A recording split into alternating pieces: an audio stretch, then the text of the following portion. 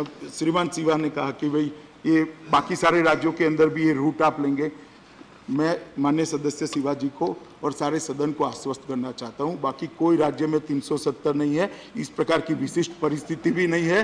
ढेर सारे ढेर सारे विभाजन आज़ादी के बाद हुए हैं। हमने भी करे। हमने उत्तराखंड बनाया, हमने झारखंड बनाया, हमने छत्तीसगढ़ बनाया, आपने आंध्र और तेलंगाना बनाया और मुझे इतने सारे सलाह देते हैं मान्यवर, मैं उनको आंध्र तेलंगाना के डिवीज़न का दृश्य जरा आँख बंद कर कर याद करे कैसे करा था।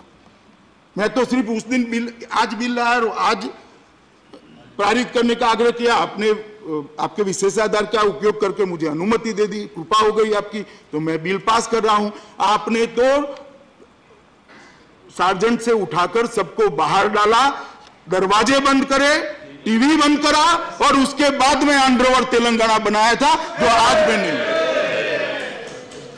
तो हमें मत समझाइए कि किस तरह से होता है।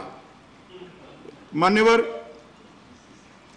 गुलाम नबी आज़ाद साहब ने कहा कि हज़ारों विधवा हुई हैं कश्मीर की 370 को बचाने के लिए। 370 को बचाने के लिए या कश्मीर को बचाने के लिए कम विधवा हुए गुलाम नबी आज़ाद साहब, विधवाएँ ज़रूर हुई हैं। इकतालीस हज़ार से ज़्यादा लोग मारे गए, हुई है, मगर 370 के कारण और मैं स्पष्ट संदेश देना चाहता हूँ घाटी के लोगों को 70 साल तक 370 के साथ जिए। ये 370 के वादों को कांग्रेस सरकारों ने बार बार दोहराया, गुमराह किया। मैं कहता हूँ, हमें पाँच साल दे दीजिए, हम कश्मीर को देश का सबसे ज़्यादा विकसित राज्य बना दें। मैं कश्मीर घाटी के युवाओं को कहना चाहता हूँ। भरोसा करिए, नरेंद्र मोदी जी की सरकार पर कुछ नहीं होने वाला। ये बरकरार रहे हैं गुमराह कर रहे हैं, जो आपको कह अपनी पॉलिटिक्स के लिए कर रहे हैं, उनकी मत सुनिए।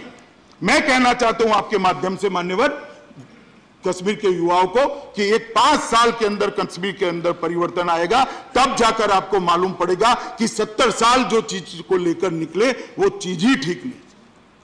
तब जाकर मालूम पड़ेगा। मान्यवर